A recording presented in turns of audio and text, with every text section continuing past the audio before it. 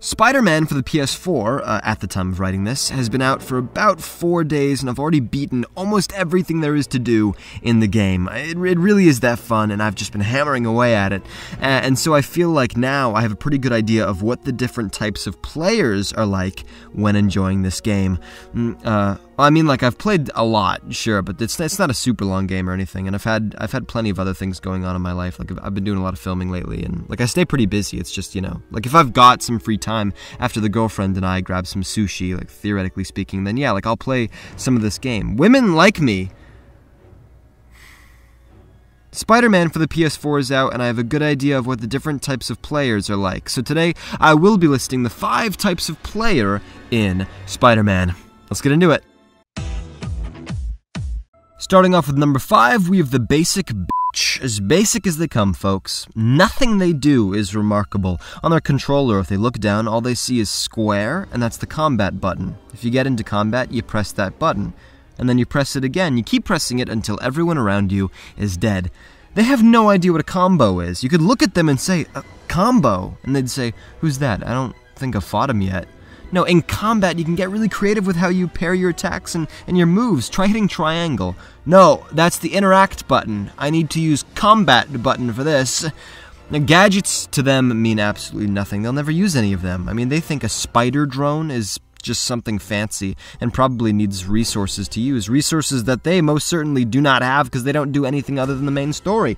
Trip mine is just useless. They're never going to have the patience to study someone's movement pattern, throw it down, and then wait for them to step over it. No, you have to combat them instead, not trip them. I need my combat button. When they have the chance to go stealth, they immediately go loud and just run in head first. It's like, what's out? It's too much effort crawling around on the ceiling waiting for people to get out of the danger zone. And if by any chance they do happen to hit someone in the air, web sling them around and then throw them into another group of guys, they're like, Brian, you have to see what I just did, Brian!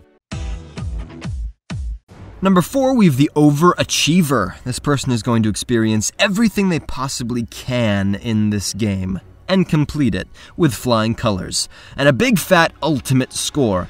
It's possible they feel like if they don't complete everything, then they wouldn't actually have what it takes to be Spider Man in the real world. Like if, if they got bit by a magic radioactive spider. You ever think about that? If you have what it takes to be Spider Man? I know I could because I like to sneak into people's ventilation systems. But could you? That's the question. Anyway, the overachiever is going to demolish every one of those little icons on their map. You should see them when they find out there are backpacks across the city that need to be collected. I mean, any normal person would be like, oh, okay, it's all over the place. If I get close to one of them in my travels, I'll just, you know, quickly pick it up. It's pretty simple. The overachiever's like, dude, I need to get all of these right now. I haven't even discovered the Upper West Side yet, but I'm there. I'm going. I seriously need these backpacks.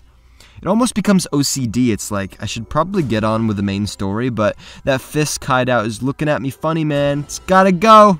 No, get off me. It's gotta go. Oh, and this person is really annoying because they're probably gonna unlock the underwear suit before all of us.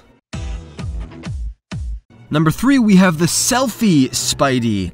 Any remotely interesting background could make the best selfie they have ever taken. I mean, this person only swings one handed, so they can always have their camera out in the other. It's that bad. Now, this Peter Parker in this game, it's possibly the most millennial version of Spider Man that we've ever seen, and it makes sense why. He needs to find a job, he's always late to things, he obsesses over how someone might interpret his text messages, and he loves to take selfies. And the selfie Spidey takes full advantage of this. They like to take a picture of themselves on the Brooklyn Bridge or on top of a ridge, inside of an alleyway, chasing down the getaway, in the middle of fighting a boss, on the sidewalk, stepping on a floss.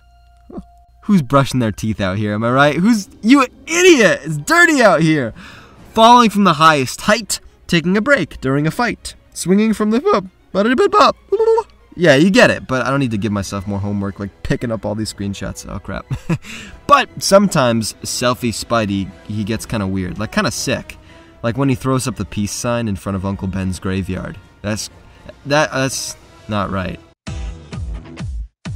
Number two, we have the know it all. This person is better versed in Spider Man than you are, and they have no problem telling you.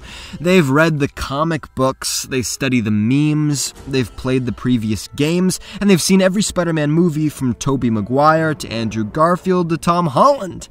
And even though they do think that Tom is doing a great job as an actor right now, it was the first series that was the best because the villain was actually interesting. Good job, Willem Dafoe. And because Spider Man still had powers without having to use his suit. At least I think this is like what they would say, something like that. If you're still not convinced that was the best one, they'll mention the director, Sam Raimi, and just keep saying the director's name, Sam Raimi, Sam Raimi, that because somehow they know more about him than you do, he must be a visionary god, and you're somehow incapable of seeing his true achievements as a director. Don't get into a, an argument like that with this person. Anyway, so when they're playing this game and every time they're introduced to a familiar character, they're already predicting everything that's going to happen to that character. Uncle Ben, he's gonna die. I just know it. Oh, he's already dead. Called it! They are introduced to Norman Osborn after that. Oh, that guy is just itching to go all Green Goblin on me. He's so excited I can see the bulge in his pants. Just to the right of his heart on. I mean, it's gotta be a goblin grenade. You see that bulge? I just know it. Oh, he never becomes the Green Goblin. Yeah, figures. Probably waiting for a, a sequel to do that. Anyway, so Sam Raimi. And number one, we have the fashion diva. This person is constantly changing their suit. They're really never happy with how they look. I mean, they go one, maybe two missions at the most in something, but after that, gotta change it up, gotta switch it. They unlock the advanced suit, and it's like, oh, cool, the spider on my chest is now all white, and so are the tips of my hand. That's so cool, I don't think I've seen that before. And then it's like, wait, what? There's a noir suit? That's so cool, it's all black. Oh, I look like a 1950s spy. Wait, the Iron Spider suit is available? That's just like what Tony Stark gave Peter Parker in Infinity War when they're blasting up into.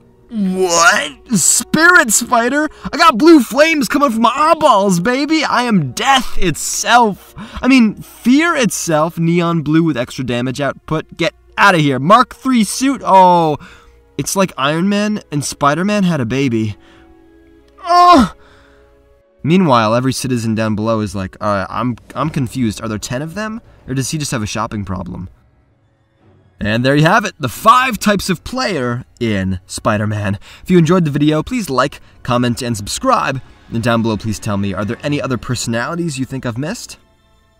Alright, thank you very much for watching. Uh, now, if you'll excuse me, I have just a few more pigeons to catch, and then I've cleared my map. So, better get on with it.